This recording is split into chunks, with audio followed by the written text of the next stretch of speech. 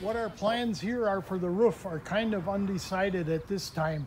We can either redo it in the tin, a similar tin that was on here, or they make a tin now that looks like cedar shake shingles, and we have the option of using that. What you're looking at here is how they dovetailed the logs together to hold the walls straight and in line.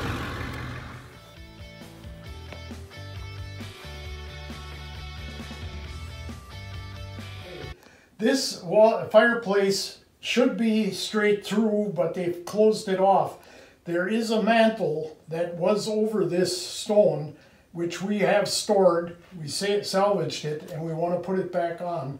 Now, if you pan off to your right, you'll see where we open up so you can see how the logs lay in there and how the lower logs are pretty rough shape. They've got some rot in them.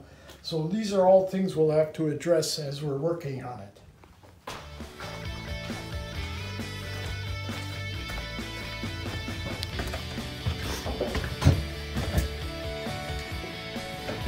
All right.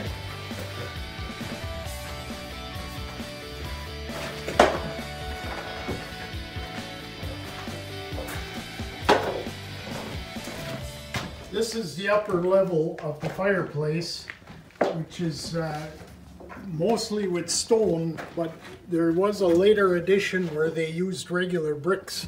We think that that may have been after the original fireplace was built and the stones tend to work themselves loose. But now there's regular brick in there. Okay, up here, if you look in the peak of the roof, all your roof joists that went up are pegged with wood.